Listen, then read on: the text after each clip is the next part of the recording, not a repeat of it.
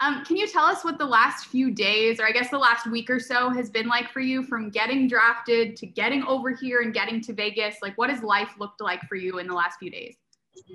Yeah, it was it was tough for sure because after workouts, I went back home uh, to be with my family and just watch draft with them. Uh, and it was really late uh, back home. It started like 2 a.m. Uh, and the first round first round goes for like three hours, so I, I, basically I stayed up all night and then couldn't really sleep because uh, it was you know exciting to get drafted. And uh, right after, I took a couple of days off uh, and flew over to uh, to Vegas. I was stuck in the airport in Turkey for two days because I didn't have a waiver to come over to the states, so that was tough as well. Uh, but good. I'm just glad to be here. Glad to start the summer league off. Uh, be with teammates, get to know the guys, and um, it's been cool. Tough, but process as well. On draft night specifically, what was your reaction when you found out that you were going to come to the Sixers? What did that feel like? How, how did that work?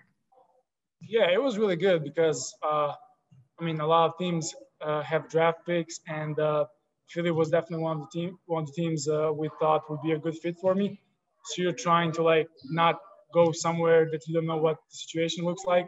So yeah, when I heard it's Philly, it was definitely a relaxing moment, and I was just happy and excited, you know, to to be part of a, such such a good organization. Let's go next to Kai Carlin. Hey, what's going on, Filip? Just um, I'm, I'm just curious. Uh, what, what what were the conversations like uh, with Doc and Daryl? What, what were they kind of uh, expecting out of you at all? Uh, it was really quick. It was brief. Uh, they just said they're gonna have a good plan for me, whatever that's gonna be. You know, uh, haven't talked much more uh, about that. I guess my agent's taking care of that, but they just said their message was they're gonna have a good plan for me. Uh, it's on me to just keep working hard, keep getting better, and uh, yeah, that's it. And then uh, I don't know how much of the Sixers have you watched, but um, I want to get your thoughts on now possibly playing with a guy like Joel. Yeah, I mean he's he's one of the best bigs in the NBA, you know.